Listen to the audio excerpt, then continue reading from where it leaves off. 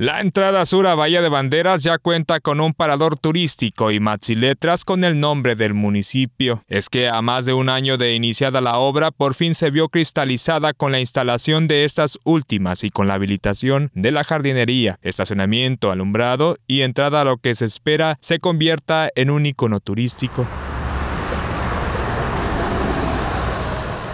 Son precisamente las letras de bienvenida lo que llama la atención de los visitantes que circulan de Puerto Vallarta a Bahía de Banderas debido a su color llamativo en colores pastel, además de la estructura que simula un puente elevado con dos círculos con duela de madera, por lo que se volverá una parada obligada para la toma de la fotografía, además de que es de fácil acceso al encontrarse a pie de carretera y contar con un aparcadero para más de 15 vehículos. De acuerdo con el gobierno municipal, esta obra turística con un costo de más de 11 millones de pesos, vendrá a dar identidad al municipio, debido a que anteriormente, sobre todo los turistas extranjeros, al cruzar el puente a Meca pensaban que todavía estaban en Puerto Vallarta y no Bahía de Banderas, con lo que también se posiciona la marca Bahía de Banderas en la escena turística nacional e internacional, a la par de la Riviera Nayarit, diversificando productos y servicios fuera del sol y la playa.